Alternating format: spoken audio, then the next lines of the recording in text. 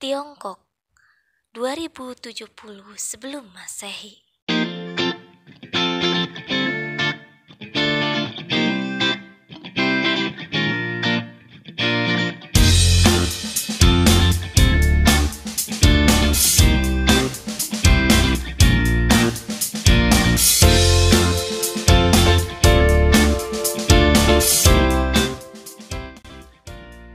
Saat ini, Tiongkok menjadi salah satu negara terbesar di dunia.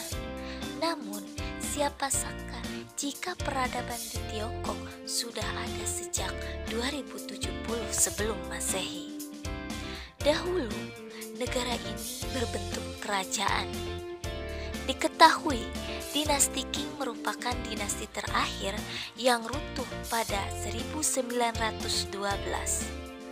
Setelah itu, Tiongkok berubah menjadi republik.